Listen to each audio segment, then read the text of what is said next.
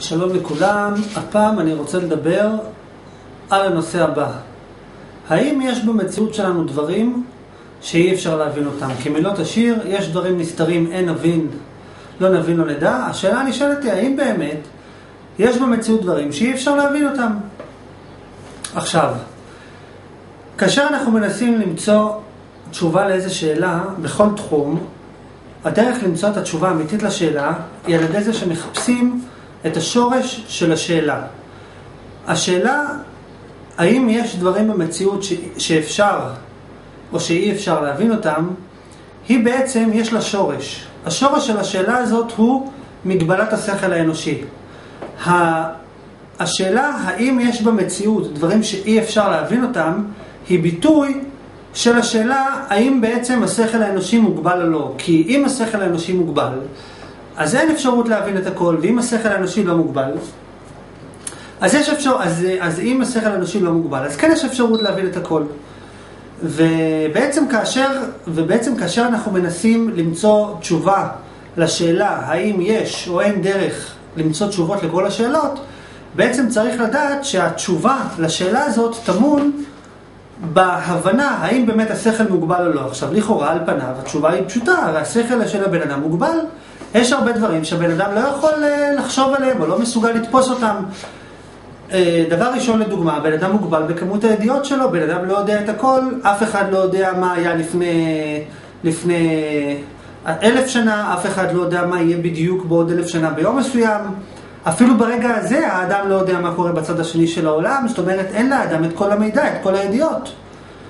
בנוסף לכל זה, גם אחרי שכבר יש לאדם את, ה, את המידע, גם אז לא תמיד האדם מבין את המידע. זאת אומרת, גם אין לאדם מידע, וגם כשיש מידע, לא תמיד האדם מבין את המידע בצורה נכונה. בנוסף לכל זה, יש כאן עוד, אה, עוד בעיה, כי השכל של הבן אדם אה, מוגבל ביכולת התפיסה שלו. מה, זה ביכול, מה זאת אומרת ביכולת התפיסה? זאת אומרת, כל סוגי המידע בעולם, אם יגלו אותם לבן אדם, הבן אדם יהיה מסוגל להכיל אותם בתוכו. לדוגמה, אמרנו שבן אדם לא יודע מה היה לפני אלף שנה. אוקיי, אבל אם יגידו לבן אדם מה היה לפני אלף שנה, אם יראו לבן אדם עכשיו סרט עם מה שהיה לפני אלף שנה, אז הוא יכול אה, להבין מה היה. או בן אדם לא יודע מה יהיה. אבל אם נראה לבן אדם, נגיד לו, אתה יודע, מה שיהיה בעוד אלף שנה זה ככה וככה, אז הוא כן, כן יבין מה יהיה. ו... אבל אף על פי כן, יש דברים שאותם הבן אדם בכלל לא יכול לתפוס. מה לדוגמה בן אדם לא יכול לתפוס? אם נגיד לדוגמה, נבקש מבן אדם, תדמיין את המספר הגדול ביותר. האם בן אדם יכול לדמיין את המספר הגדול ביותר? אין דרך לדמיין את המספר הגדול ביותר, כי כל מספר שנדמיין, תמיד יהיה מספר אחר יותר גדול. או לדוגמה, אם נגיד נבקש את ההפך, תדמיין את המספר הקטן ביותר. האם בן אדם יכול לדמיין את המספר הקטן ביותר? גם זה אין דרך לדמיין את המספר הקטן ביותר. כי ה... איזה מספר שלא תדמיין, תמיד יהיה אפשר לדמיין מספר אחר יותר קטן. בואו ניתן דוגמה נוספת. נגיד לדוגמה לגבי אה, מרחב המקום. אנחנו נמצאים בתוך עולם, העולם, אה, יש, יש בעצם מקום, בתוך המקום הזה נמצאים כל הדברים. עכשיו, מרחב המקום עצמו הוא מרחב אינסופי. אם נצעד במקום, נצעד בו, נגיע עד אינסוף. אין איזה נקודה שבה נגמר המקום. המקום אפשר לנסוע בו ולנסוע בו ולנסוע בו ולנוע בו עד אינסוף. עכשיו, נבקש מבן אדם, תדמיין, עכשיו כל אחד יכול לנסות עכשיו, לנסות לדמיין את המקום הרחוק ביותר. אי אפשר לדמיין את המקום הרחוק ביותר, זה כמו לנסות לראות מה יש מאחורי קו האופק. עכשיו, קו האופק, כמה שלא תתקרב אליו, תמיד יהיה עוד קו אופק יותר רחוק. זאת אומרת שגם כאן לדוגמה אנחנו חווים מגבלה של יכולת לחשוב על דבר אינסופי. ובמאמר מוסגר יש אה, טענה שיכולה להיאמר שאולי אולי מרחב המקום הוא כן מוגבל. למה מרחב המקום הוא כן מוגבל? כי אפשר אולי להגיד, אולי מרחב המקום הוא בצורה כדורית, ואז בעצם הוא מוגבל בתוך משהו. ואז לכאורה כן אפשר לדמיין את, את, מרחב, את הקצה של מרחב המקום, כי אפשר לדמיין את הנקודה שבה מרחב המקום מתעגל בצורה כלשהי. אבל למה באמת זה לא נקרא לדמיין את, את המגבלה של מרחב המקום? כי ברגע שאנחנו אומרים שמרחב המקום מוגבל, גם אם נגיד שהיקום שלנו הוא מוגבל בתוך צורה של כדור, הרי שבעצם בכך אמרנו שיש מעל הכדור ומתחת לכדור ובצדדי הכדור. כי אם אנחנו אומרים שהיקום הוא אינסופי וממלא את הכל, אז הוא אינסופי, ואז אי אפשר לדמיין את הקצה שלו. אבל אם לדוגמה נחליט שהיקום שלנו הוא בצורת כדור, ואז בזה נחשוב שהנה אנחנו יכולים לדמיין את כל היקום כולו, עדיין לא עשינו בזה כלום, כי גם אם אנחנו נדמיין את כל היקום ככדור, עדיין, זה ברגע שהגדרנו את המילה כדור, ברגע שהגדרנו את הצורה, בעצם תחמנו גבול. וברגע שעשינו גבול, בעצם יש אחרי הגבול, ולפני הגבול, ומצד הגבול, ומתחת לגבול. זאת אומרת, וככה שגם אם המקום, ככה שגם אם כל היקום שלנו הוא סופי, מבחינת המרחב שלו, עדיין בעצם אי אפשר לדמיין את כל המקום כולו, את כל, ה, את, כל המר, את כל המקום שבתוכו נמצא המרחב שלנו. וגם אם מרחב המקום שלנו, של, וגם אם כל מרחב המקום שלנו הוא סופי, נצא מנקודת הנחה שכל מרחב המקום שלנו סופי בצורה כלשהי. עדיין אי אפשר לדמיין את המקום שבתוכו נמצא מרחב המקום שלנו, כי כל דבר נמצא בתוך דבר אחר, וכל, וכל פעם שנעשה גבול, תמיד זה אומר שיש משהו מעבר, ככה שבן אדם לא יכול לדמיין את מה שיהיה מעבר במקום הרחוק ביותר. אותו דבר לדוגמה, לגבי עניין של זמן, האם בן אדם יכול לדמיין את הזמן הרחוק ביותר, את היום האחרון של, של, של ציר הזמן? ציר הזמן הוא לרוחב. יש לנו, יש את היום, יש את אתמול, לפני אתמול היה עוד יום, לפני הרגע הקודם היה עוד רגע קודם, ובעוד רגע יהיה עוד רגע, ובעוד רגע יהיה עוד רגע, וזה כן, וככה זה ממשיך הלאה לנצח, קדימה ואחורה. האם בן אדם יכול לדמיין איזה נקודה שאחריה אין יותר זמן, או נקודה שלפניה אין, אין זמן? עכשיו, גם אם בן אדם ידמיין נקודה שלפניה אין זמן, הרי שבעצם בכך הוא, בזה עצמו הוא יוצר ציר זמן, כי בעצם זה אומר שיש זמן, שבתוכו יש ציר זמן עם התחלה וסוף. בדיוק כמו לגבי המקום, גם אם נגיד שהמקום סופי, בעצם אמרנו שהוא עצמו נמצא בתוך מקום יותר גדול. אותו דבר לגבי זמן. אם נגיד שיש סוף לזמן, אז בעצם אמרנו שיש לפני הזמן ואחרי הזמן, ואז בעצם עשינו מקום יותר גדול, אה, עשינו ציר זמן יותר גדול שבתוכו נמצא הזמן שלנו. הרי מבחינה מדעית, מרחב המקום והזמן נבראו, נוצרו במפץ הגדול או, בתרחיש כזה או אחר. ו... אבל מצד האמת, זה לא... אבל מצד האמת, גם הם עצמם נמצאים בתוך משהו אחר עוד יותר גדול.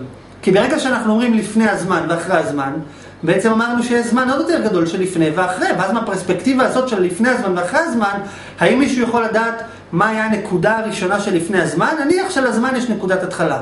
אבל האם אפשר לשאול מה היה בנקודה הראשונה של לפני הזמן? כי אמרנו זמן, התחלת הזמן, סוף הזמן. ובעצם אמרנו שיש לפני הזמן ואחרי הזמן. אז האם אפשר לדעת מה היה בנקודה הראשונה של לפני הזמן, או מה יהיה בנקודה האחרונה של אחרי הזמן? אי אפשר לדעת. בכל מקרה, מה שאנחנו בעצם רואים שבן אדם לא, אמרנו כמה דברים. אחד, בן אדם לא יודע את הכל. גם מה שהוא יודע, הוא לא תמיד מבין את מה שהוא יודע. ודבר נוסף, נגיד שלגבי מידע, כל מידע אפשר להכיל אותו, אבל יש אה, סוגי מחשבות מסוימות שבן אדם לא מסוגל אפילו להכיל בתוכו את, ה, את המחשבה הזאת. לדוגמה, בן אדם לא יכול לדמיין את המקום הרחוק ביותר, או את הזמן הרחוק ביותר. ובעצם ה, בעצם ההגדרה של הדבר הזה, זה שהאדם אה, מוגבל ביכולת שלו להכיל בתוכו את האינסוף. כל דבר שהוא בלימיט של אינסוף, לדוגמה זמן אינסופי, מקום אינסופי, מספר אינסופי, בן אדם לא מסוגל לדמיין את האינסוף. בנוסף לכל זה, יש עוד, עוד דוגמה לדבר שבן אדם אה, מוגבל, שגם הוא נובע בגלל בעיית האדם להכיל אינסוף. מה לדוגמה? בן אדם לא יכול בבת אחת לחשוב שתי מחשבות. לדוגמה, ברגע שבן אדם חושב על א', הוא לא חושב על ב'. נגיד בן אדם חושב על צבע צהוב, הוא לא חושב על צבע כחול. הוא לא יכול בבת אחת לחשוב על צהוב וכחול. ואם בן אדם יחשוב מה זה בבת אחת, באותו חלקיק של רגע הוא חושב צהוב כחול, צהוב כחול, הוא לא יכול בבת אחת לחשוב גם צהוב וגם כחול. יחד עם זאת, אם בן אדם לדוגמה ינסה נגיד לחשוב על צהוב ועל כחול ביחד, זה בן אדם כן יכול לעשות, בן אדם יכול לחשוב על צהוב ועל כחול ביחד. איך, איך אפשר לחשוב על צהוב ועל כחול ביחד? פשוט לחשוב על ירוק. כשחושבים על צהוב ועל כחול, בעצם יוצא צבע ירוק. זאת אומרת שבעצם בן אדם לא מסוגל להכיל בתוכו שתי מחשבות, אבל הוא מסוגל לחבר אותן למחשבה אחת שהיא תכיל בתוכה את המחשבות. את שתי המחשבות. ואף על פי כן, יש דבר אחד בעולם שאותו בן אדם לא יכול לחבר אותו כמחשבה אחת. מה בן אדם לא יכול לחבר כמחשבה אחת? דבר והיפוכו. זאת אומרת, ברגע שאמרנו שבן אדם, יש מחשבה אחת של צהוב, יש מחשבה אחת של כחול. בן אדם יכול לחשוב על הצהוב והכחול ביחד, בעצם לחשוב על ירוק. אבל הצהוב הוא לא ההפך של, של הכחול, והכחול הוא לא ההפך של הצהוב, ולכן אפשר לחבר אותם לישות שלישית שהיא ירוק. לעומת זאת, אם בן אדם ייקח שני דברים שהם הפוכים זה לזה, מה זאת אומרת הפוכים מצד ההגדרה שלהם? נגיד לדוגמה חום וקור. חום וקור זה ההפך. ההפך של החום הוא קור, ההפך של קור הוא חום. בן אדם יכול להגיד, לא נכון, אני כן יכול לדמיין חום וקור ביחד. איך אפשר לדמיין חום וקור ביחד? פשוט אפשר לדמיין דבר פושר. דבר שהוא פושר הוא בעצם שילוב של חום וקור ביחד. אז הנה, כן אפשר לחשוב על שני הפכים, לחבר אותם לישות אחת ולחשוב עליהם. אבל זאת לא האמת, כי בן אדם, למרות שהוא יכול לחבר את החום ואת הקור ביחד ולחשוב עליהם ביחד, הוא לא יכול לחבר את שיא החום ואת שיא הקור ביחד. זאת אומרת, אם נלך לקצוות, ניקח לדוגמה את החום החם ביותר בעולם. החום ששם אין אפילו טיפה אחת של קור חום, שההגדרה שלו היא אין קור.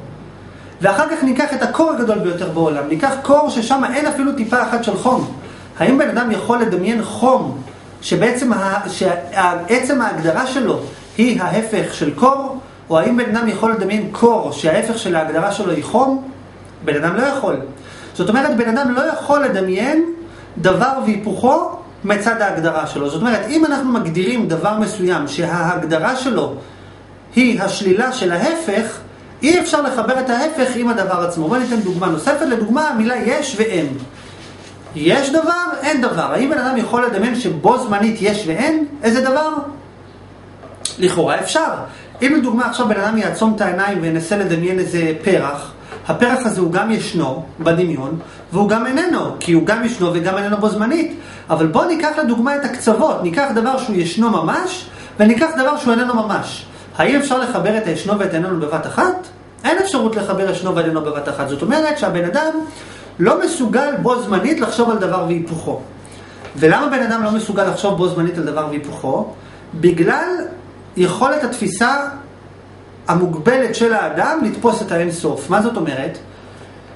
כשאנחנו לוקחים לדוגמה את המילה יש ואת המילה אין, או את המושג בחירה או אין בחירה, או את המושג רצון או אין רצון, או את המושג טוב ואת המושג רע, בעצם אנחנו עושים סוף. מה זאת אומרת סוף? אנחנו אומרים כאן מתחיל הטוב וזה הרע. זאת אומרת שיש איפשהו סוף שמשם זה מתחיל להיות רע. נגיד לדוגמה חום וקור. אז בוא נניח נגיד שכאן זה שיא החום, כאן זה שיא הקור, ואז באמצע יש שילובים של חום וקור. אבל בקצה של החום, או בקצה של הקור, אין שמה, אין שמה, חיב, אין שמה שום חיבור לצד השני. זאת אומרת, בקצה האחרון של האין, או בקצה האחרון של היש, שם יש סוף ברור. זאת אומרת, הקצה האחרון של היש הוא רק יש, הוא לא אין. הקצה האחרון של האין הוא רק אין, הוא לא יש.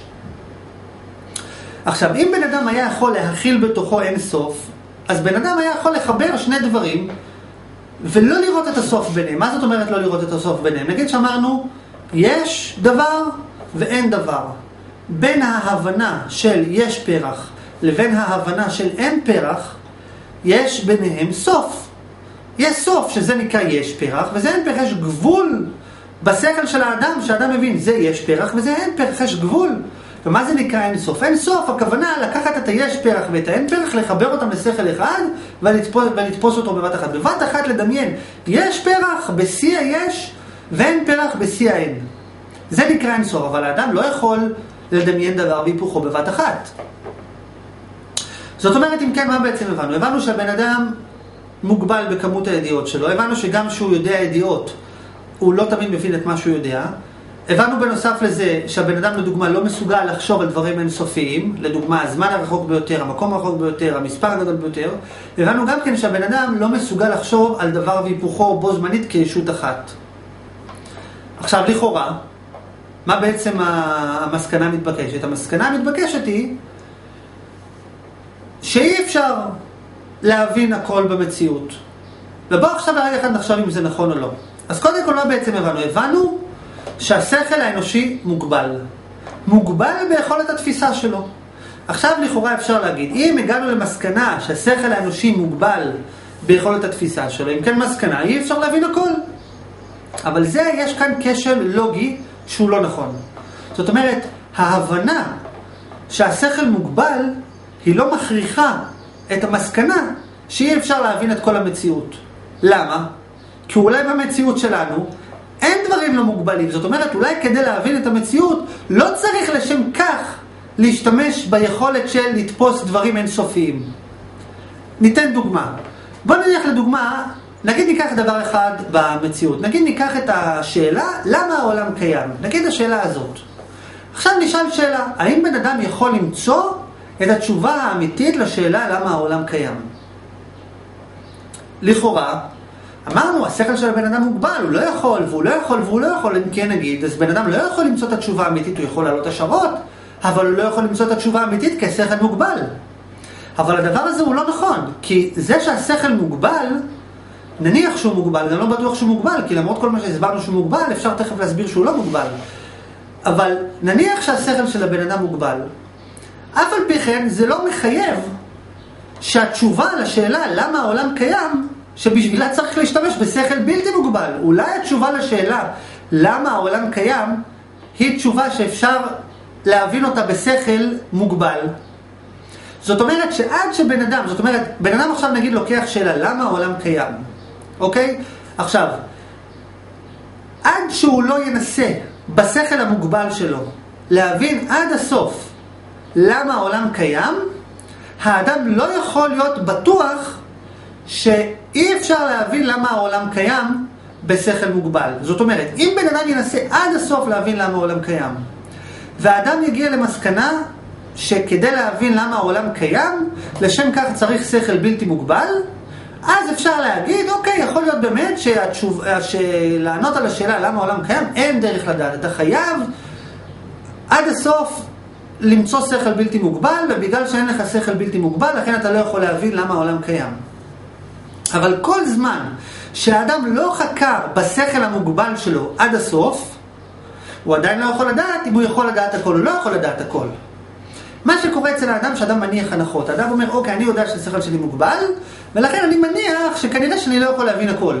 אבל מי, מי, מי אמר שזה נכון? אולי אתה כן יכול להבין הכל בכלים שיש לך בשכל המוגבל. אולי. האם בדקת? האם מישהו יכול להגיד שהוא ניסה עד הסוף בשכל המוגבל שלו, עד הסוף, בוא נניח שהשכל מוגבל, האם מישהו יכול להגיד שהוא לקח את כל השכל המוגבל שלו והשקיע את כל כולו אך ורק בלנסות להבין דבר אחד? מה שקורה אצל הבן אדם, שהבן אדם מתפזר.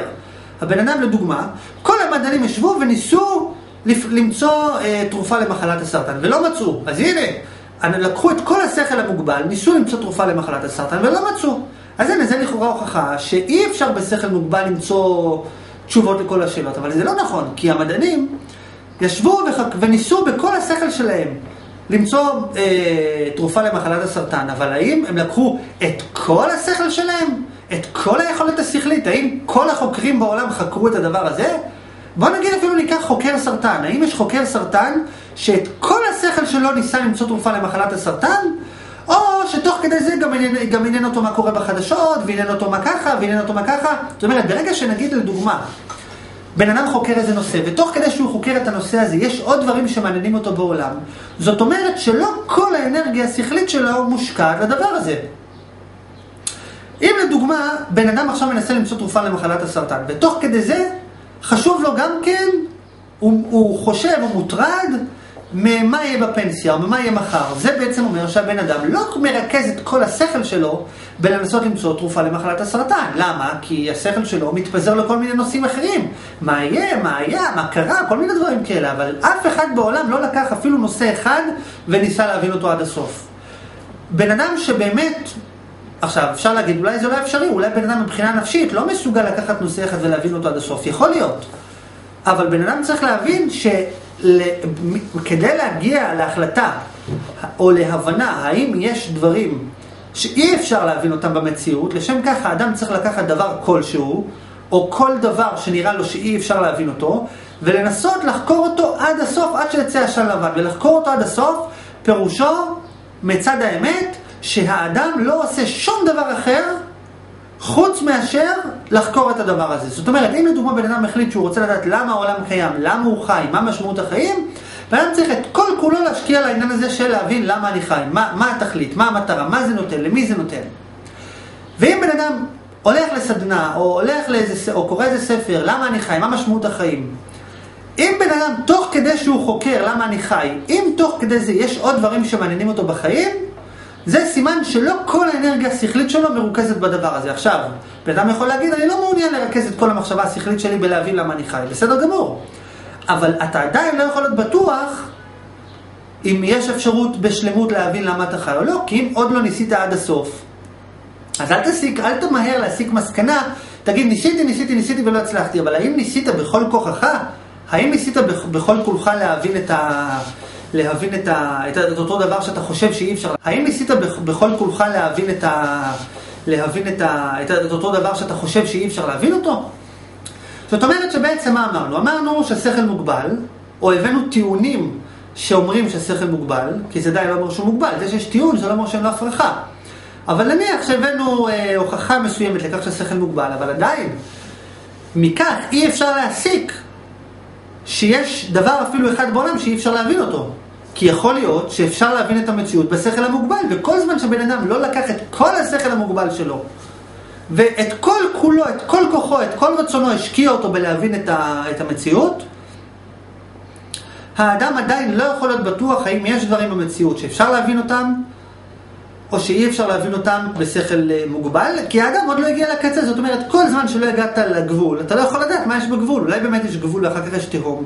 נניח נגיד שבן אדם עומד על איזה, על איזה הר, והוא רואה, כמו נגיד כדור הארץ, פעם חשבו שכדור הארץ, אם אתה צועד, צועד, צועד, צועד, אתה נופל. עכשיו איך גילו שכדור הארץ עגול? פשוט נסעו, נסעו, נסעו, נסעו, וראו שהגיעו לנקודת התחלה, אמרו וואלה, אני לא נופל. זאת אומרת שכל זמן שהבן אדם לא מגיע עד הקצה הסופי, הוא לא יכול להיות בטוח מה יש בסוף, הוא רק יכול לשער, יכול להגיד נראה לי ש... נדמה לי ש... אבל בן אדם לא יכול להגיע בצורה ודאית למסקנה של אי אפשר להבין את הכל. כי כל זמן שלא ניסית לקחת את כל השכל שלך וניסית להבין עד הסוף, אתה לא יכול להסיק שום מסקנה לגבי מגבלת השכל האנושי, בדיוק כמו שאותם חוכמולוגים שחשבו שאם הולכים עד הסוף נופלים בכדור הארץ, מה שהם היו צריכים לעשות זה פשוט ללכת עד הסוף ולראות שלא נופלים משום מקום. זאת אומרת שבעצם הבנו שהשכל מוגבל, והבנו שכל זמן שהבן אדם לא ישתמש בסך כל השכל שלו, הוא עדיין לא יכול לדעת שהשכל מוגבל להבין את המציאות. כי אולי בכל זאת יש דרך להבין את המציאות, למרות שהשכל מוגבל. כי אולי כדי להבין את המציאות לא צריך שכל בלתי מוגבל. ועכשיו נלך לדבר נוסף. עכשיו בוא נניח לצורך ההנחה שבאמת יש במציאות דברים שכדי להבין אותם צריך בשביל זה שכל בלתי מוגבל. עכשיו נשאל שאלה, האם אפשר בשכל מוגבל להבין דבר בלתי מוגבל?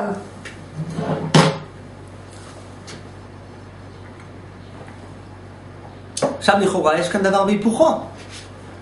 למה דבר בהיפוכו? כי מה בעצם שאלנו?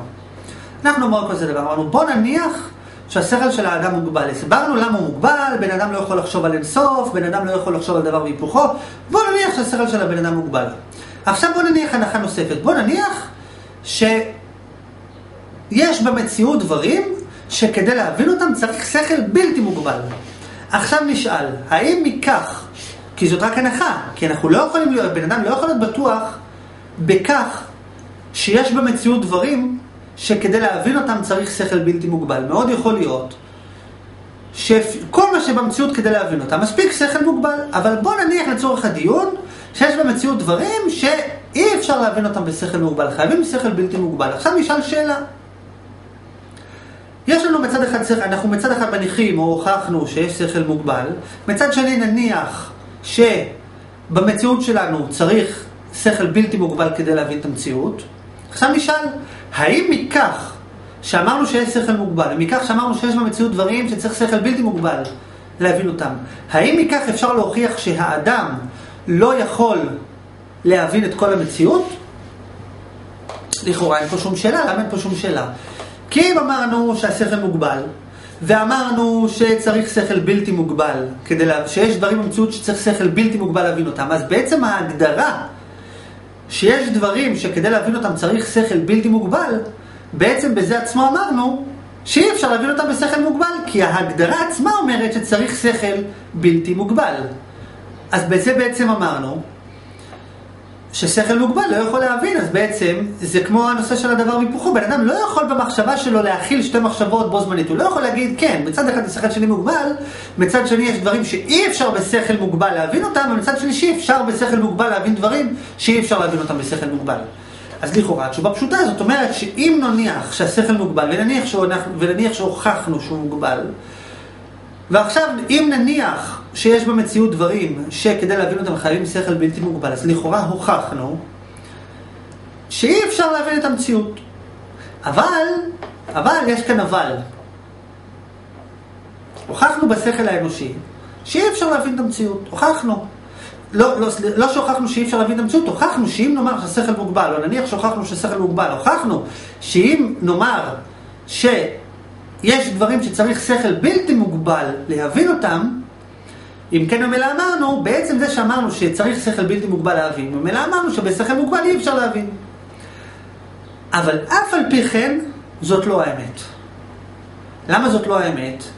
וכשאני אומר זאת לא האמת, אני לא מתכוון לומר, אני לא מתכוון להוכיח או, או לטעון שאפשר להבין את המציאות בשכל בלתי מוגבל. אני בא לטעון שגם אם נאמר שהשכל מוגבל, וגם אם נאמר שיש במציאות דברים שצריך שכל בלתי מוגבל כדי להבין אותם, עדיין אי אפשר לדעת בוודאות שאי, שבן אדם בשכל מוגבל לא יכול להבין את המציאות. למה? איך זה יכול להיות? אבל זה דבר והיפוכו. מצד אחד אמרנו שיש דברים שצריך שכל בלתי מוגבל להבין אותם. מצד שני אמרנו ששכל מוגבל. אם כן, לא יכול להיות שבשכל מוגבל תבין דבר שצריך שכל בלתי מוגבל עבורו. ואני אומר שגם הדבר הזה הוא לא הוכחה לכך שאי אפשר להבין את המציאות. אני לא אומר שאפשר, אני רק אומר שזה לא הוכחה לכך שאי אפשר. ולמה? כי בגלל שהשכל של האדם מוגבל, ובגלל שהאדם יודע שהשכל שלו מוגבל, לכן ממילא הוא צריך להבין שגם ההבנה שלו שהשכל מוגבל, וגם ההבנה של האדם שיש דברים שצריך שכל בלתי מוגבל כדי להבין אותם, וממילא כביכול לנסות להוכיח שאי אפשר בשכל מוגבל להבין דברים בלתי מוגבלים, האדם צריך לזכור שגם את זה עצמו הוא מבין רק בשכל מוגבל. זאת אומרת, ברגע שבן אדם מבין ומודה על האמת שהשכל שלו מוגבל, בעצם זה אומר, באותו רגע מה שאמור לקרות לבן אדם זה להבין שהוא לא יכול להיות בטוח בשום דבר. בשום דבר הוא לא יכול להיות בטוח. זאת אומרת, הוא יכול להמשיך לחיות ולהגיד, אם אני רואה מולי קיר, אז אני אניח שיש קיר ואני לא אכנס לתוך הקיר. אבל האם זאת האמת לאמיתה? האם בן אדם יכול להיות בטוח במאה אחוז בדבר כלשהו במציאות? התשובה היא שלא. זאת אומרת, אם בן אדם מבין שהשכל שלו מוגבל, באותו רגע הוא לא יכול להיות בטוח בשום דבר. אפילו הוא לא יכול להיות בטוח בכך שהשכל שלו מוגבל. זאת אומרת, בן אדם נגיד, הוכחנו שהשכל מוגבל, אבל בגלל שהשכל מוגבל, זה אומר שגם ההוכחה שהשכל מוגבל, גם היא עצמה נעשית בשכל המוגבל. אז מאחר שזה בשכל מוגבל, ממילא זה אומר שגם ההוכחה שהוכחנו שהשכל מוגבל, גם היא עצמה מוגבלת. כי יש שכל מוגבל שהוכיח שהוא מוגבל. אבל גם ההוכחה עצמה נעשתה בשכל מוגבל, ושכל מוגבל כמובן שהוא לא יכול לייצג אמת אבסולוטית, הוא לא יכול לייצג את את התמונה המלאה של המציאות. כי אם השכל היה בלתי מוגבל, אז הייתי אומר, אני יש לי שכל בלתי מוגבל. עכשיו אני בשכל הבלתי מוגבל שלי, אומר שזה מוגבל, שדבר מסוים מוגבל. ואז הייתי אומר, אוקיי, שכל בלתי מוגבל, הוא יכול להיות אינדיקציה לדבר כלשהו שהוא באמת ככה. אבל מאחר שאדם מבין שהשכל שלו מוגבל, ממילא זה אומר שגם ההבנה של האדם שהשכל שלו מוגבל, גם זה עצמו נעשה בשכל מוגבל. ולכן האדם לא יכול להיות בטוח, אפילו לא שהשכל שלו מוגבל. כל שכן וקל וחומר, שגם אם נאמר שכן, השכל מוגבל, אבל עדיין בן אדם לא יכול להוכיח, או, לה, או להיות בטוח שאי אפשר להבין דברים שצריך בשבילם שכל בלתי מוגבל. כי אולי יש שכל בלתי מוגבל, שבו כן אפשר למצוא דרך ששכל מוגבל יבין דברים שצריך בשבילם שכל בלתי מוגבל. אולי כן יש דרך. בן אדם צריך להיות פשוט אמיתי, לשאול את עצמו, האם זה שאני לא מסוגל למצוא תשובה לשאלה, או, או לפרדוקס, שיש שכל בלתי מוגבל, שבו בעצם, שיש שכל מוגבל, שבו אנחנו נבין בלתי, דבר בלתי מוגבל. זה שאני לא מצליח להבין איך בשכל מוגבל אפשר להבין את הבלתי מוגבל. האם זה אפשר להוכיח או להיות בטוח שזה בלתי אפשרי? הרי האדם עצמו צריך להגיד לעצמו, הרי אני עצמי יודע שהשכל שלי מוגבל, אז איך אני יכול להיות בטוח בכלל במשהו? ולכן בן אדם צריך להתחבר לאמת.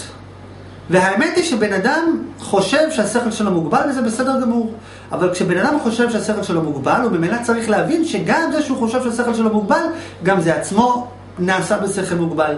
וגם זה שבן אדם מנסה להסיק מסקנה שאי אפשר בשכל מוגבל להבין מציאות בלתי מוגבלת, גם זה עצמו בן אדם צריך להודות על האמת, והאמת היא שגם את זה עצמו הוא מניח את זה רק בשכל מוגבל.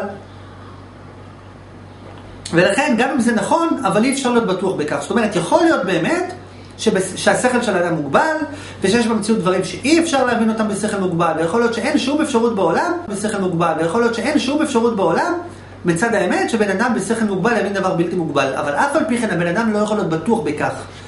כי כדי להיות בטוח במשהו אתה חייב שכל בלתי מוגבל, ואם השכל שלך לא מוגבל, אם השכל שלך מוגבל, ממילא אתה לא יכול להיות בטוח אפילו בכך שהוא מוגבל, ולא יכול להיות בטוח בכך שאתה לא יכול להבין דברים בלתי מוגבלים. במאמר מוסגר נכניס פה עוד נושא לגבי הנושא של הלוגיקה, שזה בעצם אותו עניין. יש דרך מאוד פשוטה לפרוך כל הוכחה לוגית. זאת אומרת, כל טיעון לוגי בכל נושא שהוא בעולם, שבן אדם מנסה להוכיח באמצעותו אמת אבסולוטית או מוחלטת, בפחות מרגע אחד אפשר לפרוח את, ה... את ההוכחה שלו. איך? באמצעות ששול... ששומטים את הקרקע מתחת הלוגיקה עצמה. זאת אומרת, הלוגיקה משמשת את האדם לחיי היום-יום. בן אדם רואה איזה משהו, הוא אומר, זאת הסיבה, זאת התוצאה, אני מניח ככה וככה, כי ככה בלוגיקה אני מבין, ואז הוא חי. אבל הלוגיקה, עם כל הכבוד אי אפשר להוכיח ממנה דבר אבסולוטי. למה? כי אין שום דרך לוגית להוכיח שהלוגיקה עצמה נכונה. זאת אומרת, בן אדם יכול בלוגיקה שלו לבנות בניינים והנחות ותיאוריות וקונספירציות, מה שבא לו. אבל יש דבר אחד שהבן אדם לא מסוגל בצורה לוגית להוכיח אותו, והוא להוכיח שהלוגיקה עצמה נכונה. בן אדם לא יכול בצורה כלשהי להוכיח שהשכל שלו עצמו צודק. בן אדם יכול להביא תיאוריות, ויכול להביא קונספירציות, ולהגיד אני חושב משמע אני קיים, ולהניח אם אני חושב משמע אני קיים, כי זה לוגי, וכולי וכולי. אבל אדם לא יכול בצורה לוגית להוכיח שהשכל שלו עצמו נכון, כי יכול להיות שגם הלוגיקה עצמה לא נכונה.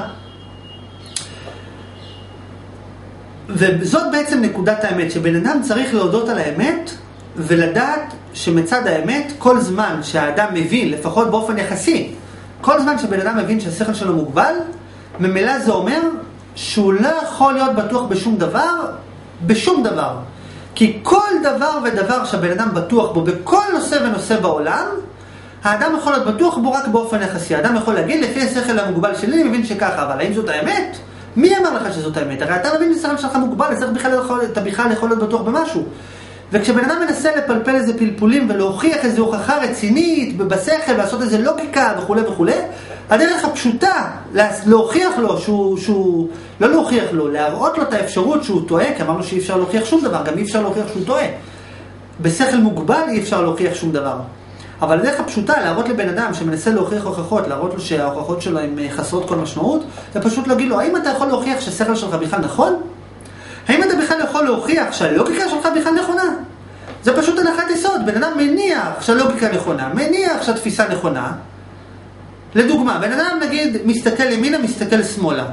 הוא מניח שימינה ושמאלה זה שני מקומות שונים, בסדר גמור. ואז הוא מוכיח הוכחה, הוא אומר, אם זה בצד ימין וזה בצד שמאל, אז זה לא אותו דבר. כי לא יכול להיות דבר אחד, את אותו ישות שנמצאת בצד ימין ובצד שמאל. לא יכול להיות. כי עצם זה שאמרנו שזה בצד ימין וזה בצד שמאל, זה אומר שפה נמצא חלק אחד ופה נמצא חלק אחר, לא יכול להיות שזה אותו חלק. בן אדם מוכיח איזו הוכחה. אבל האם האדם יכול להיות, אבל, אבל איפה פה הנחת היסוד? כי בן אדם מניח שאם אני רואה משהו בצד אחד ואני רואה משהו בצד אחר, אם כן, זה לא אותו דבר. אבל למה, אבל למה, זאת, רק, אבל למה זאת רק הנחת יסוד? כי האדם, קודם אמרנו שאדם מוגבל ביכולת התפיסה שלו. הנה עוד דוגמה לדבר שאדם מוגבל ביכולת התפיסה שלו. האדם לא מסוגל לדמיין שני מקומות באותו מקום. בן אדם לא מסוגל לדמיין את הצפון ואת הדרום נמצאים באותו מקום. כי אם זה באותו מקום, זה כבר לא צפון ודרום. בן אדם לא יכול לדמיין שימינה ושמאלה נמצאים באותו מקום. כי, זה, כי ימינה זה ההפך של שמאלה, שמאלה זה ההפך של ימינה. אי אפשר, אי אפשר לדמיין שהימינה והשמאלה בכלל נמצאים באותו מקום. או לדוגמה נגיד, נגיד ניקח לגבי זמן. בן אדם אומר עבר, הווה ועתיד. בן אדם לא יכול לדמיין שהעבר והעתיד נמצאים באותו נקודה. כי עצם ההגדרה עבר זה בעצם ההפך של העתיד. עצם ההגדרה עתיד זה בעצם ההפך של העבר. אז אי אפשר לדמיין בו זמנית שני דברים. אז האדם מוגבל ביכולת שלו לדמיין עבר והווה ביחד, האדם מוגבל ביכולת שלו לדמיין שני מקומות ביחד, ואז האדם רואה מולו שני דברים, ואומר, אני יכול להוכיח לך שזה לא אותו דבר. איך תוכיח? הנה, כי זה פה וזה פה. אבל למה זה לא נכון? זאת אומרת, אפשר להוכיח שבשכל, או אפשר להניח שבשכל, אם זה פה וזה פה, אז כנראה שזה שני דברים שונים. אבל האם אפשר להוכיח שמצד האמת האמיתית, מה שנמצא בצד ימין ומה שנמצא בצד שמאל הם שני דברים שונים, אולי הם בכלל ישות אחת. הרי איך זה עובד? בן אדם בשכל שלו לא מסוגל לתפוס, לא מסוגל לדמיין אפילו, שימין ושמאל נמצאים באותו מקום. כן, זה שאמרתי ימין, אמרת שמאל, אמרת שני מקומות שונים. אז בן אדם לא יכול לתפוס שימין ושמאל נמצאים באותו מקום. אז הוא מניח שאם אני לא יכול לתפוס שהם, אה, שהם נמצאים באותו מקום, אז כנראה שהם לא נמצאים באותו מקום. ואם הם לא נמצאים באותו מקום, אם כן אני יכול להוכיח ששני דברים שנמצאים בשני מקומות שונים, בשתי ישויות שונות. אבל האם מצד האמת, האמיתית, האבסולוטית, ברגע שבן אדם זוכר שכל ההבנה שלו מבוססת על כך שהוא לא מסוגל לתפוס שני דברים הפוכים, ברגע שהוא זוכר שעל זה מבוסס כל ההנחות יסוד שלו, אז ממילא האדם אמור להבין שהוא לא יכול להוכיח, לדוגמה, שמה שבצד ימין ובצד שמאל זה לא ישות אחת. כי אולי זה בכלל ישות אחת, ורק אתה, בגלל שאתה לא מסוגל לדמיין ימין ושמאל כישות אחת, רק בגלל זה נראה לך זה שני דברים הפוכים. אולי באמת זה בכלל אותו דבר. זאת אומרת בעצם, וכנ"ל לגבי כל חוקי הלוגיקה. על מה מבוססים חוקי הלוגיקה? מה הם חוקי הלוגיקה? חוקי הלוגיקה הם כללים שמבוססים על מגבלת התפיסה של האדם. האדם לדוגמה לא מסוגל לדמיין שימין ושמאל נמצאים באותו מקום, שלפני ואחרי זה אותו דבר, שיש ואין זה אותו דבר, הוא לא מסוגל לעשות כזה דבר, ואז הוא מניח, טוב עכשיו בואו לפי זה נעשה איזה חוקים מסוימים. אבל האדם צריך לזכור שכל החוקים כולם מבוססים על מגבלת השכל האנושי. זאת אומרת שתאורטית אם היה לאדם שכל אחר, שבו לדוגמה הוא היה יכול לדמיין שיש ואין זה אותו דבר, או שיש ואין נמצאים בו זמנית, או לדוגמה לדמיין שלפני ואחרי זה אותו דבר, או לדמיין שסיבה ותוצאה זה אותו דבר, או לדמיין שפה ושם זה אותו דבר. אם בן אדם היה יכול לדמיין כזה דבר, אם היה לאדם שכל שיכול לדמיין כזה דבר, יכול להיות שכל החוקי הלוגיקה היו משתנים.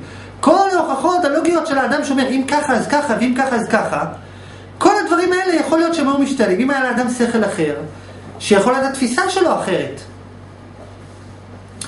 ובעצם בכך הבנו שברגע שבן אדם מסתכל על האמת, והיחסית עדיין, כי אמרנו שאמת מוחלטת בשכל, ה... בשכל המצומצם אי אפשר להבין אותה. אבל, וגם זה לא ודאי, כי בשכל המצומצם שום דבר לא ודאי. אבל ברגע שבן אדם מסתכל על האמת היחסית, אומר, אני באופן יחסי יודע שהשכל שלי מוגבל, ממילא הבן אדם אמור להבין שהוא לא יכול להיות בטוח בשום דבר, הוא לא יכול להיות בטוח שהשכל שלו מוגבל, הוא לא יכול להיות אפילו המשפט אני חושב משמע אני קיים, גם הוא, גם הוא לא, לא מוכח, כי אולי יש איזה משהו באיזה לוגיקה אחרת ששם זה כן משתנה. אולי, הרי יש פה איזה טיעון. אני חושב, משמע יש מס, אה, הוכחה ותוצאה, מסקנה ודבר. אבל אולי שכל אחר שבו דבר והיפוכו כאן מתחבר, ואולי שם כן אפשר משהו אחר בכלל להוכיח. ובעצם המסקנה שהבנו אותה זה שבשכל, זה שבשכל מוגבל אי אפשר להיות בטוחים בשום דבר. ועכשיו השאלה נשאלת היא, טוב, אז מה יעשה האדם? מה הייתה השאלה הראשונה? השאלה הייתה הראשונה, השאלה הראשונה הייתה, האם באמת יש במציאות שלנו דברים שאי אפשר להבין אותם? האם באמת השכל מוגבל? האם יש דברים שאי אפשר להבין אותם?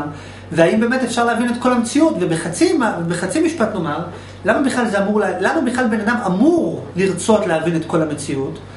כי הסיבה היחידה שרע לבן אדם בחיים זה כי הוא לא מבין את המציאות. מה זאת אומרת? נגיד קורה לבן אדם איזה משהו, נגיד עכשיו נופלת תקרה על הראש. בן אדם לא מבין למה נפל לי תקרה על הראש, מאיזה סיבה, רניתי באמצע לתת וידאו, מה פתאום נפל לי תקרה על הראש? ואז הבן אדם מרגיש רע. אבל אם לדוגמה, נגיד, בשביל הדוגמה, נניח שאני עכשיו באמצע וידאו, ופתאום היה קורה איזה משהו שמפיל אותי, והדבר הזה היה מציל אותי מכך שהתקרה תיפול לי על הראש. הייתי אומר, וואי, איזה דבר טוב קרה לי.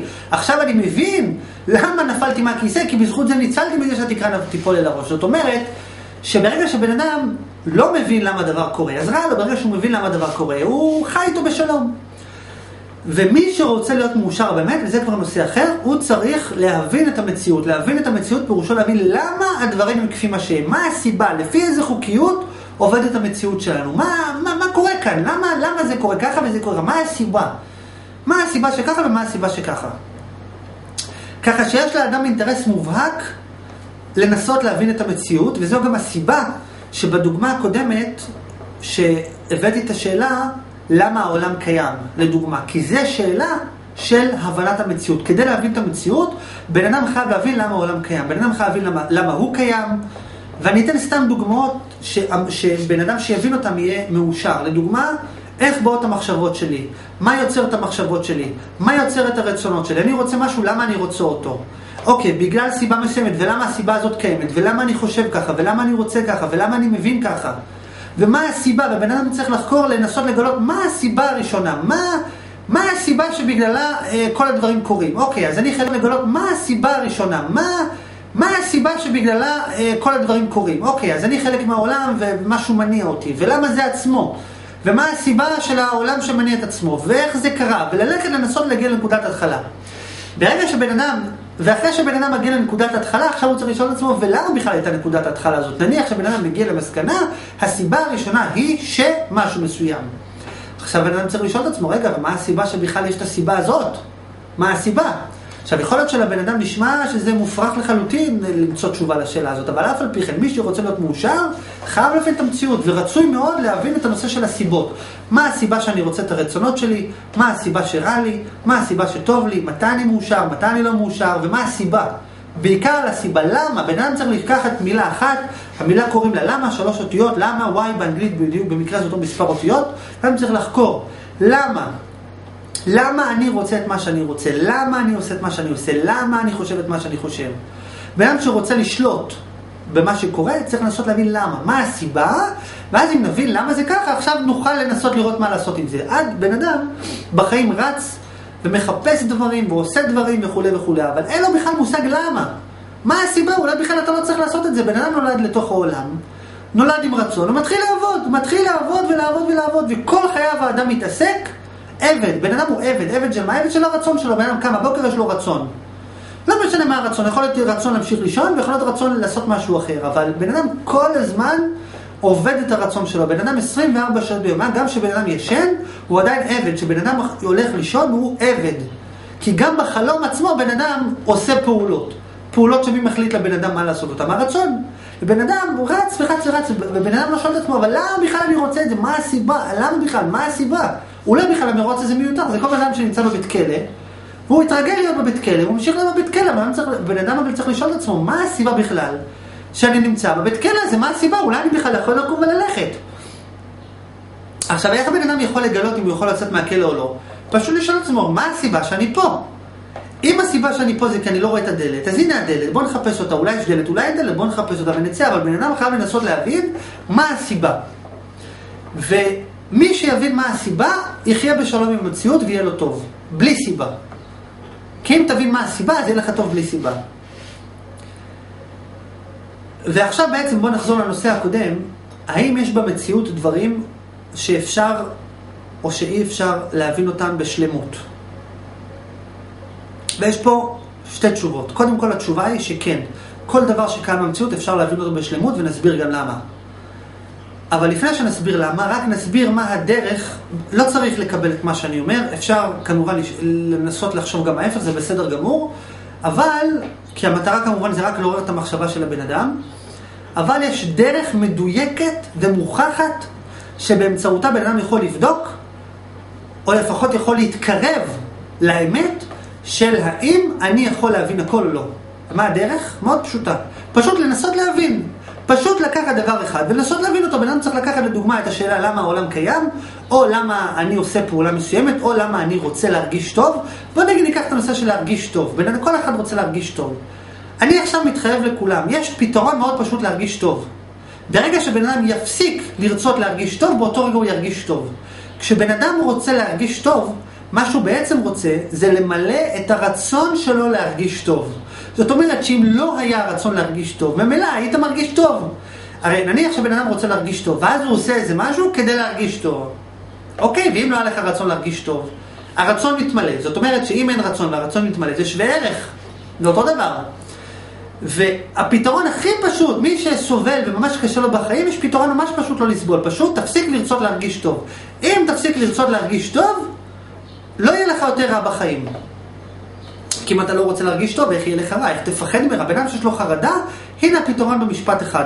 תפסיק לרצות להרגיש טוב, תפסיק לרצות ליהנות. ברגע שתפסיק לרצות ליהנות, באותו רגע תהיה, לא יהיה לך שום פחד ושום חרדה ושום דבר בעולם. אלא מה? שבן אדם אומר, מה זאת אומרת? אבל אני רוצה להרגיש טוב. עכשיו, זה בסדר גמור שאתה רוצה להרגיש טוב, וזה בסדר גמור שיש לך חרדה ואתה מנסה לפתור אותה. אבל האם שאלת את עצמך את השאלה הבסיסית, למה בכלל אני רוצה להרגיש טוב? אולי יש איזה כפתור סודי שאם אתה לוחץ עליו, אתה מנטרל את הרצון להרגיש טוב ובזה נגמר כל הסיפור כולו. ובאמת יש, יש באמת כפתור סודי כזה. אבל זה, אבל זה כבר עניין אחר, וזה לא כפתור, וזה לא רק שזה כפתור סודי, יש משהו מסוים שכשבן אדם מבין אותו, אז הוא חווה את כל המציאות כטוב, ואז הרצון שלו להרגיש טוב נעלם. זאת אומרת, הוא עדיין מרגיש טוב ורע, אבל זה רק אה, בפרספקטיבה של משחק, או לא יותר מזה. אבל בפרספקטיבה האמיתית, הרצון להרגיש טוב נעלם, כי כשהכול טוב, ממילא הרצון להרגיש טוב נעלם. ובן אדם פשוט צריך לחקור, בן אדם מנסה חי חיים שלמים, בן אדם צריך לשאול את עצמו, מה הסיבה בכלל שאני עושה את הפעולות שלי? למה בכלל אני רוצה להרגיש טוב? מה הסיבה? מה המטרה? ולכן בן אדם צריך לנסות לקחת איזה נושא, כל נושא, ולנסות להבין אותו עד הסוף. ועכשיו, השאלה היא, בעצם, האם אפשר להבין את המציאות עד הסוף, כן או לא. אז קודם כל מה שאמרנו, הדרך של האדם לבדוק, זה פשוט על ידי זה שבן אדם, מי שבאמת רוצה, ויותר מזה, מי שבאמת לא רק רוצה לדעת אם אפשר להבין או אי אפשר להבין את המציאות, מי שבאמת רוצה להבין את המציאות בשלמות, מצד האמת צריך סוג של מסירות נפש. בן אדם צריך ממש ללכת עד הסוף, להבין שכל החיים שלו תלויים בלהבין את המציאות, ופשוט עד הסוף ללכת ולנסות לשאול למה אני חושב את מה שאני חושב, למה אני רוצה את מה שאני רוצה, מה הסיבה, מה קורה כאן. ובן אדם צריך לנסות עד הסוף להבין את המציאות, ומי שיעשה את זה באמת עד הסוף, אז הוא גם יגלה שהוא כן יכול להבין את המציאות גם בשכל המוגבל. ועכשיו נסביר איך יכול להיות שבשכל מוגבל, ועכשיו אני ניתן עוד איזה, עוד איזה, עוד איזה נקודה. קודם אמרנו שבן אדם לא יודע האם כדי להבין את המציאות, האם צריך שכל בלתי מוגבל או לא? כי אולי כדי להבין את המציאות מספיק שכל בלתי מוגבל. ועכשיו אנחנו נסביר למה כדי להבין את המציאות צריך שכל בלתי מוגבל. זאת אומרת, למה כדי להבין את המציאות צריך שכל בלתי מוגבל. ואיך אפשר בצורה מאוד פשוטה להבין שכדי להבין את המציאות צריך שכל בלתי מוגבל? מאוד פשוט. בוא ניקח לדוגמה את השאלה למה העולם קיים, או למה המציאות קיימת, או למה אני רוצה את מה שאני רוצה. מה בעצם אנחנו נעשה? אנחנו בעצם לוקחים שאלה, למה יש איזה, מה המצב, למה הדבר הזה קיים, מה הסיבה שלו, מה הסיבה שלו. עכשיו, כל שאלה, כדי להגיע לאמת, אנחנו כל תשובה שניתן, למה העולם קיים, ניתן איזה תשובה. מה נשאל, ולמה זה עצמו קיים, ומה הסיבה עצמה שזה קיים, ומה הסיבה שזה עצמה קיים. נניח, לדוגמה, אחד ההסברים, אה, יש כוח טוב שרוצה לעשות טוב. עכשיו השאלה היא, טוב, ולמה הכוח הטוב הזה רוצה לעשות טוב, ולמה הוא טוב? ולמה כוח טוב רוצה לעשות טוב? אולי כוח טוב ירצה לעשות רע? ולמה? מי אמר? מי החליט? ולמה בכלל יש כוח טוב? למה, אולי, אולי, למה בכלל הכוח הראשון הוא טוב? אולי הכוח הראשון יהיה רע? וכולי וכולי וכולי. כל הסבר שלא ניתן, תמיד נוכל לשאול למה. ולמה ככה, ולמה ככה, ומי החליט שככה, ולמה ככה, כל דבר נוכל לשאול למה. עכשיו, מה זה בעצם אומר? זה אומר בעצם שכל תשובה שלא ניתן, תמיד נוכל לשאול עוד שאלה, מה היה לפני? מה הסיבה? כדי למצוא את האמת ואת התשובה האמיתית לשאלה למה העולם קיים, בעצם בשביל זה למה המציאות קיימת, למה אני רוצה את הרצון שלי, או כל דבר אחר, למה אני חושב את המחשבות שלי. לשם כך בעצם צריך לחזור לנקודת ההתחלה הראשונה של הזמן, שבה הכל התחיל. מה זאת אומרת? הרי יש, הרי כשבן אדם חושב איזה מחשבה, זאת בעצם תוצאה. זו תוצאה של משהו אחר. וכל דבר הוא תוצאה של משהו אחר, וכל דבר הוא תוצאה של משהו אחר, וכדי להבין למה באמת עכשיו אני חושב את המחשבה שלי, אדם צריך ללכת לסיבה הראשונה, הראשונה, הראשונה, הראשונה, הראשונה, הראשונה, אבל איפה פה הבעיה? שכל סיבה שלא ניתן, תמיד נוכל לשאול, רגע, אבל מה היה לפני? ואיך הסיבה הזאת עצמה נוצרה, ומה היה לפניה? זאת אומרת, שכמו שבן אדם לא יכול לדמיין את הזמן הרחוק ביותר קדימה, וכמו שבן אדם לא יכול לדמיין את הזמן הרחוק ביותר אחורה, ככה בן אדם גם לא יכול להבין מה הסיבה הראשונה, כי הסיבה הראשונה נמצאת במרחק אינסופי מהאדם. כי כל תוצאה יש סיבה, וזה עצמו תוצאה של סיבה, וזה עצמו תוצאה של סיבה, וכן הלאה וכן הלאה, עד אינסוף. וכל נקודה שנגיד, אוקיי, נגיד שיש לנו סיבה ותוצאה, ונגיד, אוקיי, זאת נקודת העצירה. תמיד נוכל לשאול, רגע, ומה הסיבה של זה?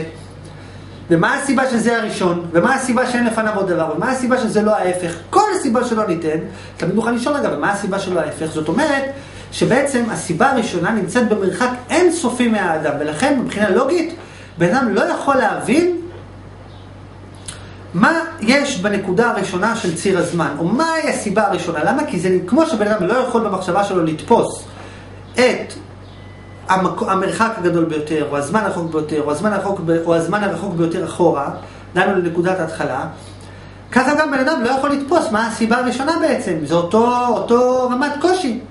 ואף על פי כן אני אומר, שמי שינסה בכל כוחו לנסות להבין למה ולמה ולמה ומה הסיבה הראשונה, הוא כן יוכל להבין מה הסיבה הראשונה, למרות שבן אדם נדע למה ולמה ומה הסיבה הראשונה, הוא כן יוכל להבין מה הסיבה הראשונה, למרות שבן אדם בטוח שאי אפשר להבין את הסיבה הראשונה. זאת אומרת, אמרנו ששכל מוגבל ואי אפשר לחשוב על מה, מה הזמן הרחוק ביותר.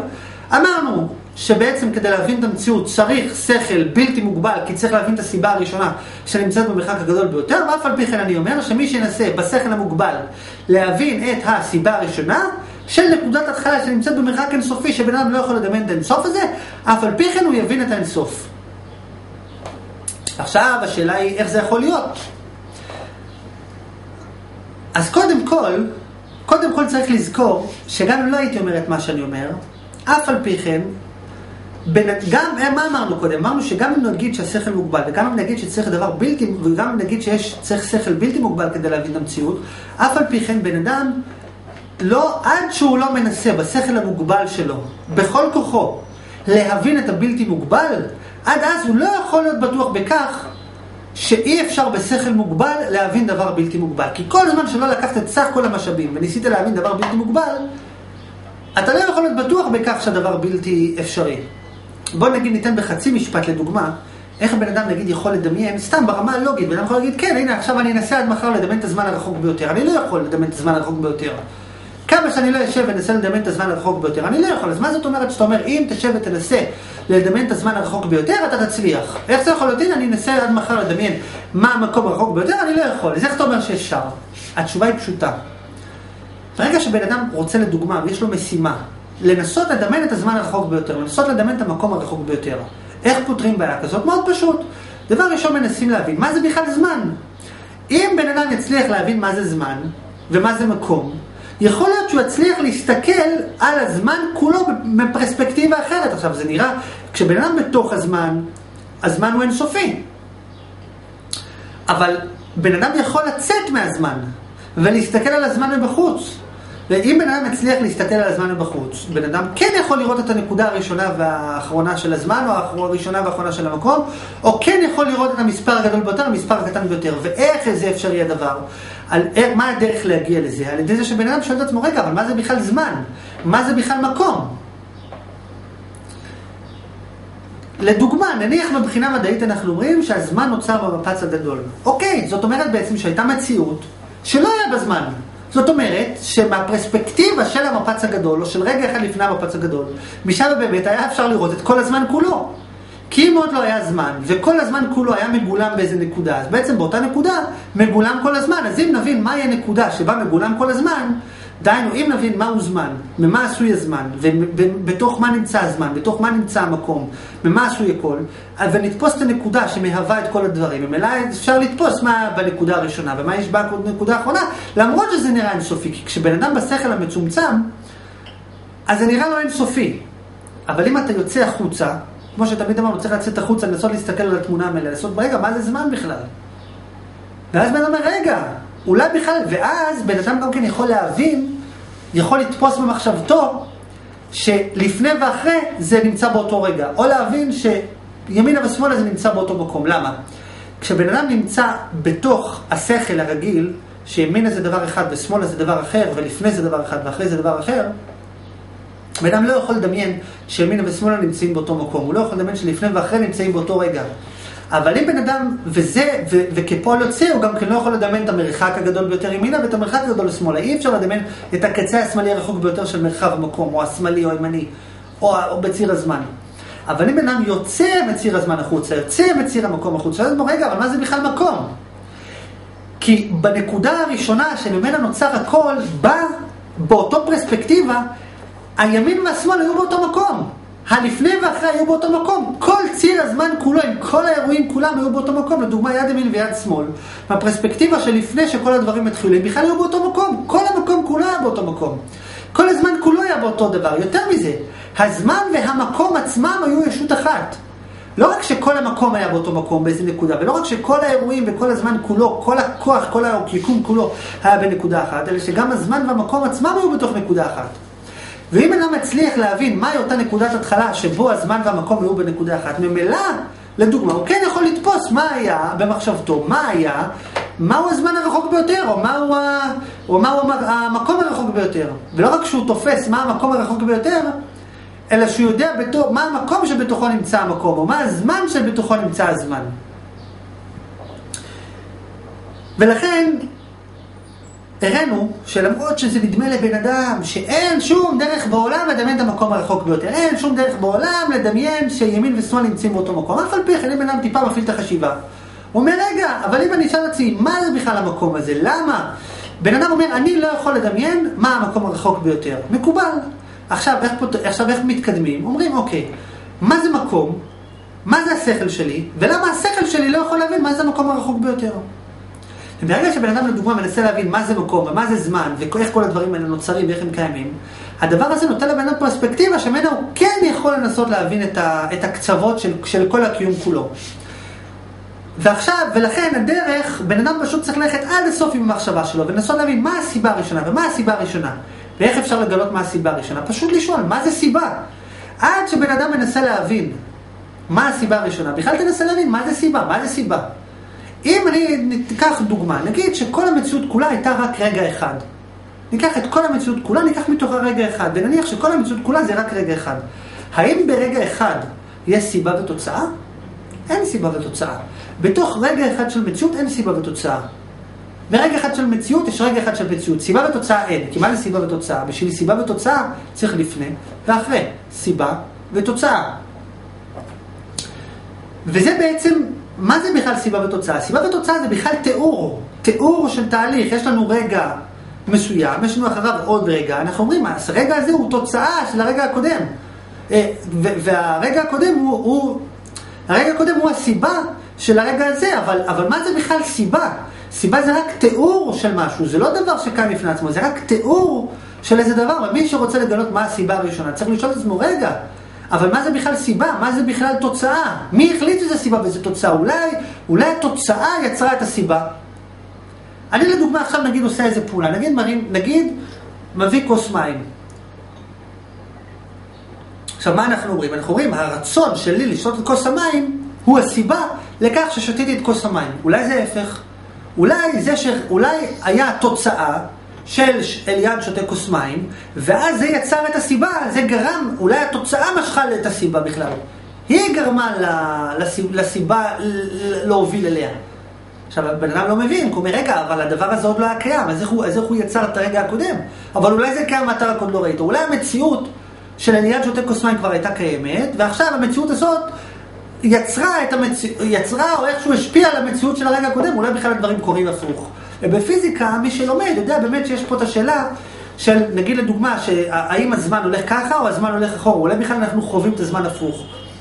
אולי בן אדם בכל רגע, הזיכרון שלו נמחק. בתיאוריה, בן אדם יכול להיות שנגיד, עכשיו בן אדם אומר, אני מתבגר, כל יום אני מתבגר, אני זוכר, כל יום הזיכרון שלי מתווסף. אולי זה בכלל הפוך. אולי בן אדם נולד שהוא בגיל מסוים, ואז בכל יום הזיכרון שלו נהיה יותר קטן בכלל, אולי בציר הזמן זה הולך אחרת. יש פה איזה כל מיני דברים שהם אולי נראים מוזרים, אבל מצד האמת. יכול להיות בכלל שזה הולך הפוך. עכשיו, בכל מקרה, בואו נחזור לעניין של הנושא של הסיבה הראשונה. אז בעצם הבנו שבן אדם צריך לשאול את עצמו, מה זה בכלל סיבה? מי אמר שזה הסיבה? מי החליט שזה סיבה? מי החליט שזה תוצאה? מה זה נקרא סיבה? ולדוגמה נגיד שבן אדם חוקר את הנושא של סיבה. בן אדם צריך לשאול את עצמו, רגע, ומה זה אין סיבה? אוקיי, הבנו מה זה סיבה, ומה זה נקרא שאין סיבה? האם באמת אין סיבה? כשאני אומר אין סיבה, או כשאני רואה דבר לדוגמה אקראי, האם באמת אין שם סיבה, או שאין סיבה פירושו אני לא מבין את הסיבה? מה זה נקרא אין סיבה? מה ההבדל האמיתי בין סיבה לאין סיבה? כשבן אדם רוצה לדעת מה הסיבה של איזה דבר, הוא לפני כן חייב להבין מה זה בכלל נקרא סיבה. וכדי להבין מה זה נקרא סיבה, צריך להבין מה ההבדל בין סיבה לאין סיבה. עכשיו, לא מה אני חושב מה זה סיבה ואין סיבה, אלא מה זה באמת סיבה ואין סיבה. האם כשאני לא מבין משהו, וזה נקרא אין סיבה, האם באמת אין סיבה? או האם כשנדמה לי משהו, ואני אומר יש סיבה, האם באמת יש סיבה? אולי זה בכלל לא הסיבה, רק נדמה לי שזה הסיבה. אולי בכלל אין סיבה, ורק אני חושב שיש סיבה. מי יחליט? אולי אין שום סיבה לשום דבר. אולי יש סיבה לכל דבר ואני רק לא מבין, אולי אין שום סיבה ורק נדמה לי שיש סיבה. ובן אדם צריך לחקור ולהתבונן בנושאים האלה עד שהוא יבין מה זה סיבה ומה זה אין סיבה, והוא יבין ממילא גם כן מה הסיבה הראשונה, ומה שהוא בעצם יבין, אם זה מעניין מישהו, מה שבעצם, מה שבעצם בן אדם יבין, בן אדם יבין בשכל שלו את החיבור של הסיבה ואין סיבה. כי בן אדם צריך לשאול את עצמו, מה השורש של הסיבה, מה בכלל יוצר סיבה. בסופו של התהליך בן אדם שיחקור את זה הוא יגיע לנקודה שבה, בסופו של התהליך בן אדם שיחקור את זה הוא יגיע לנקודה שבה אין הבדל בין סיבה לאין סיבה. אין הבדל בין לפני לאחרי, אין הבדל בין פה לשם, אין הבדל בין שום דבר לשום דבר. ומתוך, כמו במפץ הגדול, יש איזו נקודה שאין בה הבדל בין לפני לאחרי, אין בה הבדל, כי אין עוד זמן, אין הבדל בין פה לשם, אין כלום. ומתוכם מתפצל הזמן, מתפצל המקום, מתפצל הכל. ברגע שבן אדם יש לו את הפרספקטיבה, בן אדם חווה על ידי התבוננות, מגיע לפרספקטיבה של לפני הזמן ולפני המקום, אז מה שקורה, שבן אדם, כשהוא רואה מולו זמן ומקום, או רואה מולו דברים שונים, הוא תמיד מבין שהפרספקטיבה, הוא מצליח להסתכל על הדברים גם מתוך פרספקטיבה של לפני הזמן ולפני המקום. כי מצד האמת, הפרספקטיבה, אני אגיד משהו שאולי יישמע מוזר, אבל מה שהיה לפני כל מה שהיה, עדיין קיים. זה שיש משהו, זה לא מעלים את הדבר שבתוכו יש את המשהו. זאת אומרת, נניח שהמקום נוצר, אוקיי, עכשיו המקום הזה נוצר בתוך משהו, עכשיו אפשר להגיד שהמקום הזה הוא ממד מקום אחר, יקום אחר, יקומים מקבילים, מה שרוצים, אוקיי? אבל זה שיש יקום, או יש משהו, זה לא העלים את הדבר שבתוכו נמצא המשהו הזה. ולו רק משום שבנקודה הראשונה נוצר המקום. ובעצם זה אומר שלפני הנקודה הראשונה לא היה מקום. ואין מקום, אי אפשר להעלים אותו. כי אם נגיד יש חדר ריק ונשים בתוכו דברים, אז העלמנו את המקום הריק. יש מקום ריק, נשים בתוכו דבר, אין עכשיו מקום ריק. אבל, אבל מצד האמת, האם העלמנו את המקום עצמו? המקום עצמו לא העלמנו אותו. זאת אומרת, גם אם נמלא את החדר עד מחר, את המקום, אי אפשר להעלים אותו, אפשר למלא אותו, לשנות אותו. זאת אומרת, יש מציאות שבתוכה יש זמן, שבתוכה יש זמן ומקום, אבל יש גם כן פרספקטיבה שלפני הזמן והמקום. הפרספקטיבה של לפני הזמן והמקום, המקום והזמן לא מעלימים אותה.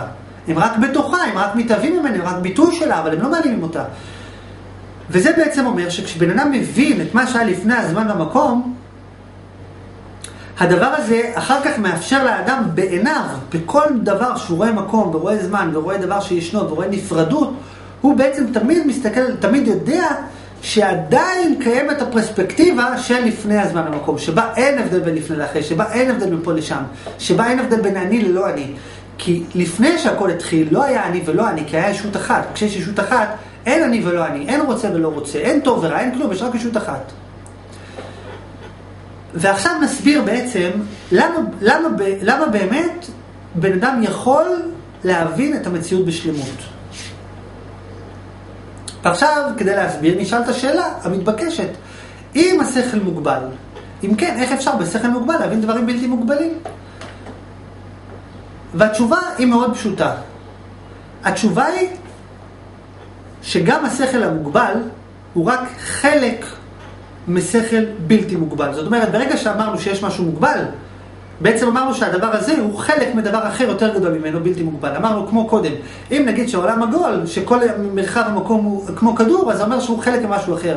ברגע שאמרנו שיש, שהמקום נוצר, זה אומר שהמקום עצמו הוא חלק, הוא, חלק, הוא עצמו חלק ממשהו אחר, שיכול להיות שהוא בלתי נכנס למחשבה, אבל הוא תמיד חלק ממשהו אחר. זאת אומרת, כל דבר, כל דבר מוגבל, הוא תמיד חלק ממשהו אחר יותר גדול ממנו. כי עצם זה שאמרנו שפה זה הגבול, זה אומר שיש מעל הגבול, יש אחרי הגבול, יש מתחת לגבול.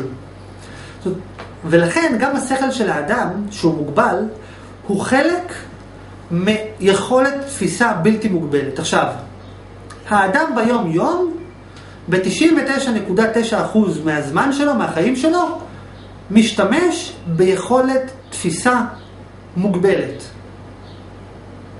אבל אף על פי כן, יכולת התפיסה המוגבלת הזאת בשורש שלה היא ביטוי של יכולת תפיסה בלתי מוגבלת. כמו שאמרנו שהמקום כולו והזמן כולו הם ביטוי של ישות שבה אין מקום, אין זמן, אפילו אין הבדל בין מקום לזמן, אין הבדל בין פה לשם, אין הבדל בין דברים נפרדים.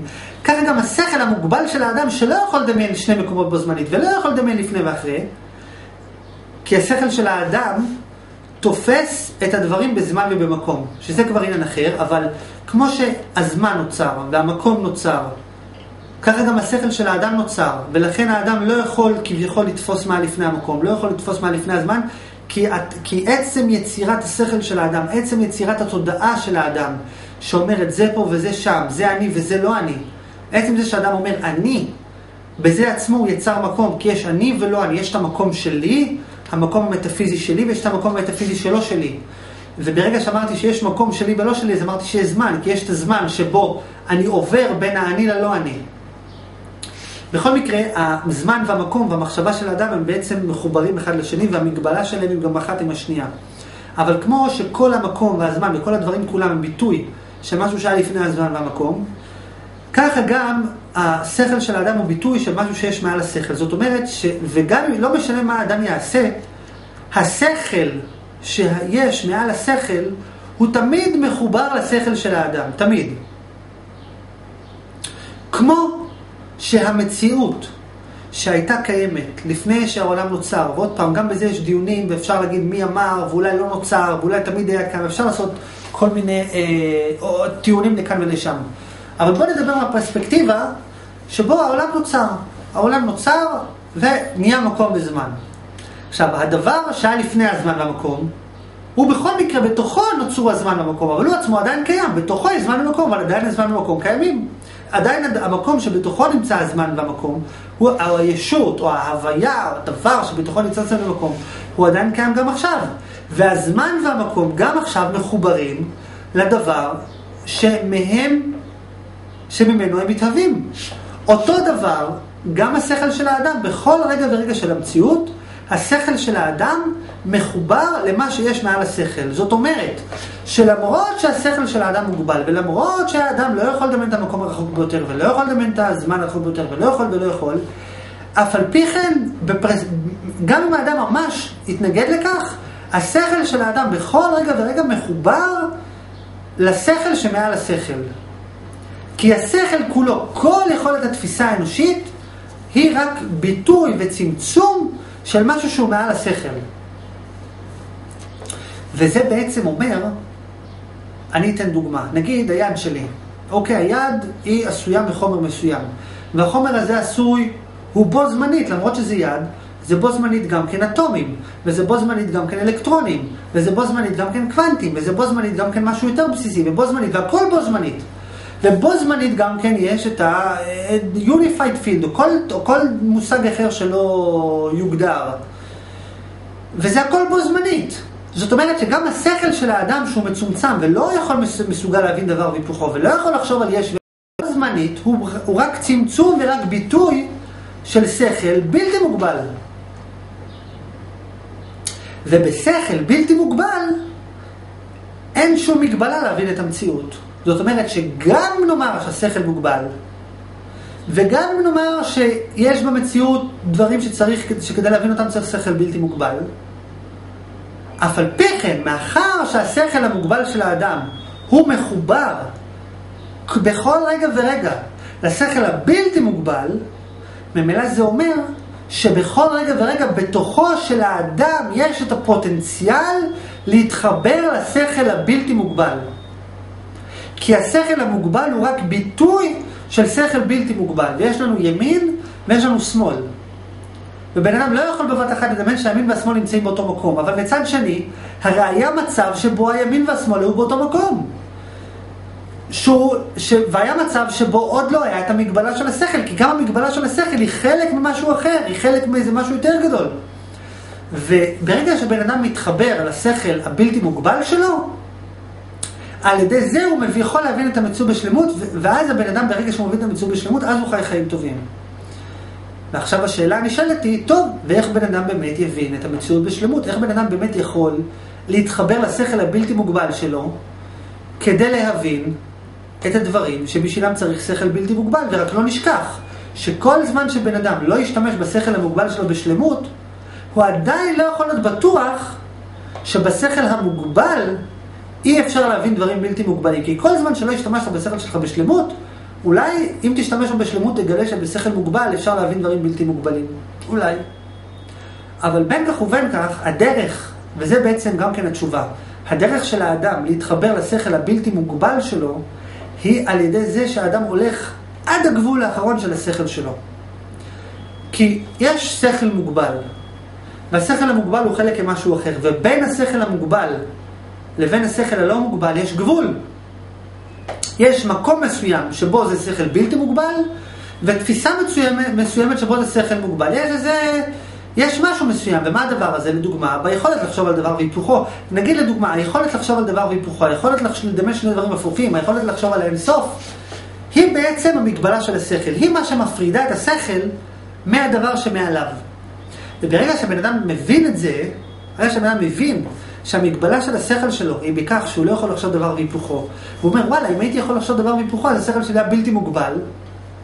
בדרך כלל יכול להיות שאחר כך יש עוד שכל, אולי יותר גדול, אוקיי? אבל זה כבר עניין אחר. אבל בן אדם צריך לנסות לנתח מה המגבלה השכלית שלי, ולהבין שהמגבלה השכלית היא רק חלק מתפיסה אחרת יותר גדולה, וברגע שבן אדם מבין את זה, מה שזה אומר בפועל, שבן אדם צריך לנסות למצוא תשובות לשאלות שלו גם בשכל הבלתי מוגבל. זאת אומרת, אם אדם מבין שבשכל המוגבל אי אפשר לחשוב על דבר והיפוכו, ובשכל המוגבל אי אפשר לחשוב על לפני ואחרי אותו דבר, ואי אפשר לחשוב שסיבה ותוצאה זה אותו דבר וכולי וכולי, ובן אדם מבין שהשכל המוגבל שלו, השכל היומיומי, הוא רק חלק משכל אחר בלתי מוגבל, ולו רק, ב... אם אני אומר שהשכל שלי מוגבל להבין דבר והיפוכו, זאת אומרת שיש שכל אחר, שיכול להיות שאין לי אותו, שבו אפשר להבין דבר והיפוכו. בעצם זה שאמרתי שיש שכל מוגבל, זה אמרתי שיש שכל בלתי מוגבל, אולי אני לא יכול להתחבר אליו, אבל יש שכל מוגבל כזה. ברגע שבן אדם מבין שיש שכל בלתי מוגבל, שבו אפשר להבין דבר והיפוכו, אולי יש אחר כך עוד יותר שכלים בלתי מוגבלים, אבל בוא נלך על הנושא של דבר והיפוכו. בעצם זה אומר שבן אדם צריך לנסות למצוא תשובות לשאלות שלו לשאלות שבהן צריך שכל בלתי מוגבל, לנסות למצוא להם תשובה בשכל בלתי מוגבל. בן צריך לקחת שאלה לדוגמה של מה הסיבה הראשונה, או למה העולם קיים, או מה הסיבה בכלל שיש סיבה, וכולי וכולי.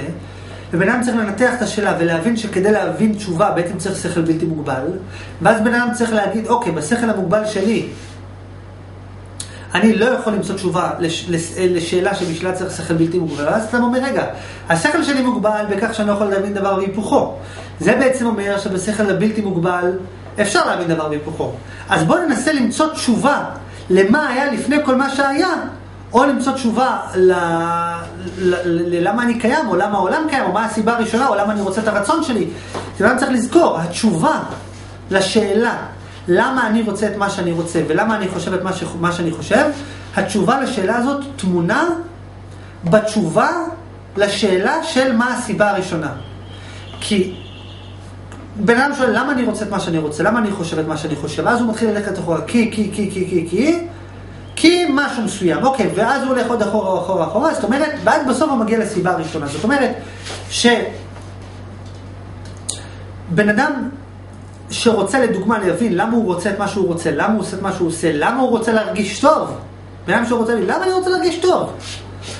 אדם שרוצה למצוא תשובה לשאלה הזאת, הוא בעצם צריך ללכת לנקודת ההתחלה של הסיבה הראשונה, ואז הוא יראה את כל ההשתלשלות עד ל... עכשיו אני מבין למה אני רוצה להרגיש טוב. כי הבנתי מה הסיבה הראשונה, והבנתי איך ממנה נוצרו כל הסיבות, והתוצאות עד לתוצאה הסופית שבה אני רוצה להרגיש טוב, ושבגללה אני עושה פעולה מסוימת. כי הפעולה, נגיד עכשיו אני, נגיד עכשיו אני אומר איזה מילה. אני אומר את המילה הזאת, כי המילה הזאת תגרום לי להרגיש טוב, ולמה, ומה, וזה תוצאה. המילה היא תוצאה. היא תוצאה של רצון להרגיש טוב. יש בדרך עוד כמה דברים, אבל היא תוצאה של רצון להרגיש טוב. הרצון להרגיש טוב הוא תוצאה של משהו אחר, וכולי וכולי. ובעצם זה אומר שכשבן אדם מנסה להבין את נקודת ההתחלה, הוא בעצם צריך לנסות להבין את נקודת ההתחלה בשכל הבלתי מוגבל. וברגע שבן אדם מנסה, ועכשיו גם כן ניתן את התשובה, ברגע שבן אדם מנסה בשכל בלתי מוגבל למצוא לדוגמה תשובה לשאלה של למה העולם קיים, מה בעצם התשובה לשאלה למה העולם קיים? התשובה היא שאם בן אדם יבין מה זה השכל הבלתי מוגבל, הוא ממילא יבין שאין בכלל שום שאלה למה העולם קיים. כי כל שאלה ושאלה שיש בעולם, בכל נושא ונושא, השאלה הזאת נובעת אך ורק מכך שהשכל של האדם מוגבל. מה זאת אומרת? כל שאלה ושאלה, בכל נושא ונושא בעולם, היא תלויה בכך שהאדם לא מסוגל לחשוב על דבר והיפוכו, בכך שיש שני דברים. ברגע שיש שתי אפשרויות או שתי ישויות, מתחילה השאלה. לדוגמה, נגיד, שבן אדם אומר, למה העולם קיים? זאת אומרת, בעצם הוא, בעצם הוא חושב שיכול להיות סיבה למה העולם קיים, ויכול להיות אין סיבה למה העולם קיים. אז הוא שואל, מה הסיבה? האם בכלל יש סיבה? אולי אין סיבה. זאת אומרת, יכול להיות שיש סיבה, יכול להיות שאין סיבה. אני שואל, מה הסיבה? יש סיבה בכלל למה העולם קיים? או לדוגמה, ברגע נגיד שבן אדם שואל למה העולם קיים, בעצם זה נובע מכך שהוא חושב שהיה זמן שבו העולם לא היה קיים. כי אם העולם תמיד היה קיים, אז אי אפשר לשאול למה הוא נוצר. עכשיו הלכתי לא למה הוא קיים, הלכתי למה הוא נוצר. כי קיים זה משהו אחר, נוצר זה משהו אחר. בואו נלך נגיד על השאלה למה העולם נוצר. ברגע שבן אדם שואל למה העולם נוצר, למה העולם נברא, למה נוצר. השאלה הזאת נובעת מכך שאדם אומר יש לפני ואחרי. עכשיו אם בן אדם היה מסוגל לדמיין את הלפני ואחרי כדבר אחד, ממילא לא היה בכלל שאלה למה העולם קיים או למה העולם נוצר, כי הלפני ואחרי הם בכלל ישות אחת.